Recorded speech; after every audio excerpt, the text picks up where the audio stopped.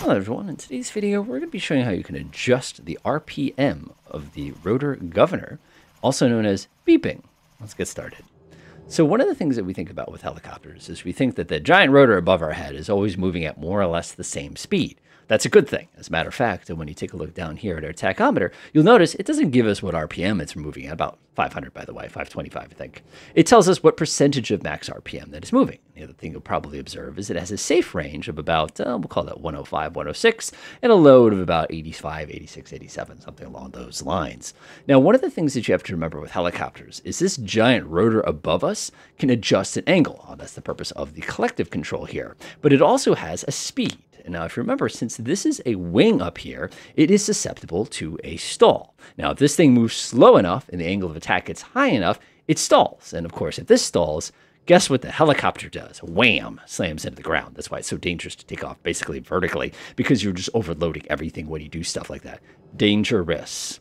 So one of the things we're going to take a look at is how we can adjust this RPM as well as why you want to adjust it and kind of uh, how to do it. So to get started with this, I'm going to go ahead and go to my controls options real quickly here. I'm going to go ahead over to my throttle, happens to be where it has, and I'm going to do a quick little search here and we can do essentials. There's also all new. There's all sorts of buttons here. And I'm going to type in beep one of the things you'll notice here is we have an engine's beep trim increase and an engine's trim decrease. You can also see it's by engine too. For me, I do them all at one time. I'm not going to worry too much about this. What this is going to do is give us the ability to change the set point of our rotor. Now, in the real world, this gets kind of interesting because as we're sitting here on the ground, idle RPM might not be at this number. As a matter of fact, we might get into the helicopter, get everything all nice and booted up. Everything is looking pretty good. We come down here and we notice that the idle RPM is uh, sitting here. Oh, it's at 99% today. Oh, it's supposed to be at 100% is what the book says. So what we can do with the beep control is we can actually change this RPM. If I hold the beep control towards decrease, what you'll see here is the RPM of the rotor will actually come down.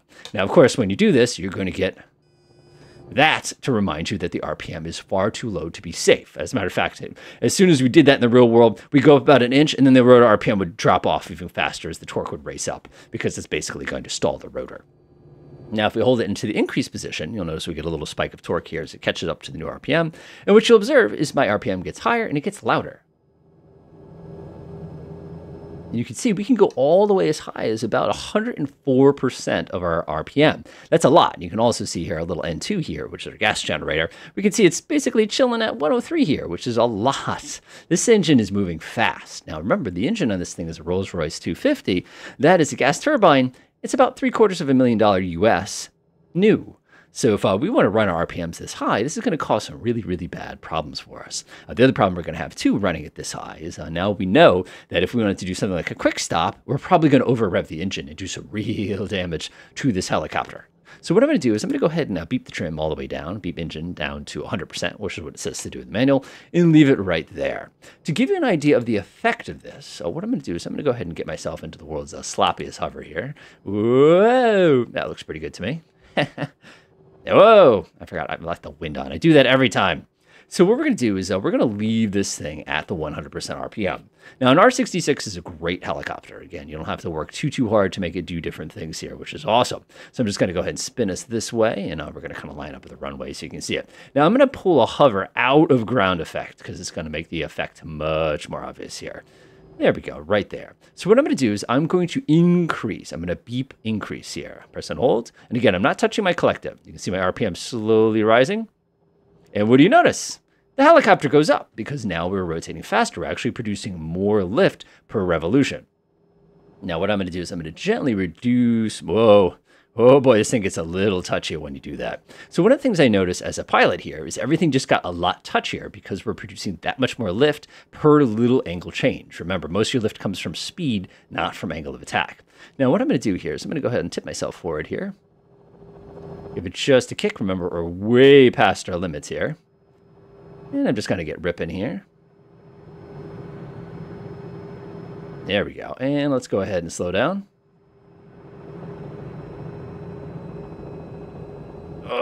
Oh boy, we just over revved the engine. One of the things you'll observe there is when it came out of it, we had so much extra lift that when we came out, we were actually able to basically stabilize it. And now it's actually pretty cool. That's a lot of load on the rotor, by the way. It'd probably do some really bad bending of metal there. So let's go ahead and settle again. And I'm going to go ahead and reduce. I'm going to beep decrease here until we get back to the standard of 100%. Now, this is how the helicopter was designed. Uh, one of the things you'll probably observe here is we're sinking. And uh, the reason we're sinking is we're actually producing less lift. So let's go ahead and pull the collective up a little bit so we don't go smacking into the runway there at full speed. That'd be pretty embarrassing. So now what we're going to do is I'm going to go ahead and stabilize this a little bit here. And again, try to keep it somewhat balanced. We do have a crosswind now to make it fun for us. And I'm going to decrease. I'm going to beep decrease here.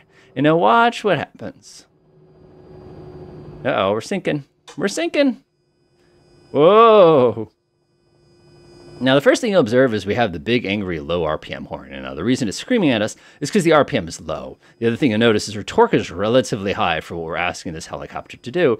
And the reason it's like that is because of the fact that we've basically governed it down. Now, that rotor above us is really, really, really struggling to give us enough lift right now because we're putting so much load on it.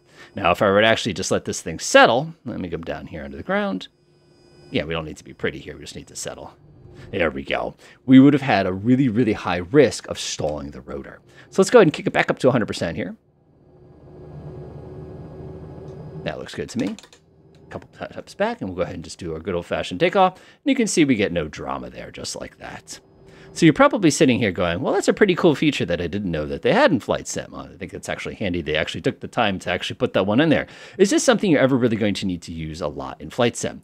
And the answer there really is it depends. In the real helicopters, um, often you have to trim for both takeoff as well as for cruise. Uh, one of the things you'll get is if you're doing 170 or something, again, it's a fast helicopter, and you look down, you'll notice your RPM's a little low or a little high, and that gives you that ability to trim it just a little bit to keep it in the safe range. Some helicopters will actually trim themselves, which is really, really nice. And then some helicopters, uh, such as the Cowan Sim uh, Robinson 22, don't even have the ability to trim. In a flight sim, though, because everything is so smooth, everything works so well, you're probably going to find that you don't really need to fiddle with it very much unless you're looking to tweak your hover game a little bit. I find that when you reduce the RPM even a little bit, it is a little bit easier to learn to hover because you're going to have a less, it's going to be less sensitive, again, depending on your joystick. In the real world, we don't do that ever because if we do that, we're going to stall the rotor, and a stalled rotor makes our helicopter do one of those, which is uh, very unpleasant for everybody on board, as well as the safety and health of the helicopter itself. Uh, we don't want to do that. Increasing that RPM, of course, is going to give us a little bit more thrust, which makes everything a little bit more sensitive to make it a little bit easier to do other activities activities too. If you're trying to do something where I need just a little bit more thrust for takeoff, you definitely have that ability to do so, keeping in mind you will be operating outside of the limits of that particular helicopter. Enjoy.